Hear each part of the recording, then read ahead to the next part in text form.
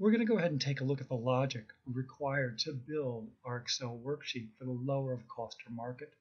To do this, let's go ahead and consider a series of replacement costs ranging from $10, which is below our designated floor, to $15, which is above our ceiling or net realizable value. Let's begin by considering the $10 replacement cost. The $10 replacement cost is below our designated floor, so we'll go with a floor of $10.25. At a replacement cost of $11, it falls between the floor and the ceiling, so it's an acceptable designated market, as is the $12, as is the $13. The $14 is right at our designated floor, so it doesn't matter whether we take the replacement cost or the ceiling.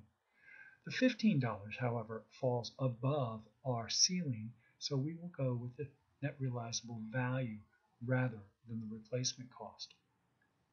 Now let's consider the logic that got us there. If we had asked the question if the replacement cost is greater than the net realizable value, we see that's the case in only one situation. That was when we had a $15 replacement cost. So when the replacement cost was greater than net realizable value, in other words, the condition was true, we went with the net realizable value. That was the selection that we would make. So if the condition was true, we went with the net realizable value. In all of the other situations where the condition was false, let's go ahead and see what we went with.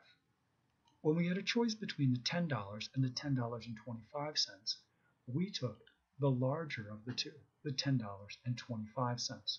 When we had a choice between the $11 and the $10.25, again, we took the larger of two, the two, the $11 when we had a choice between the $12 and the $10.25, again, we took the larger of the two, the $12. We took the maximum of the values. The same thing was true for the 13 and $14.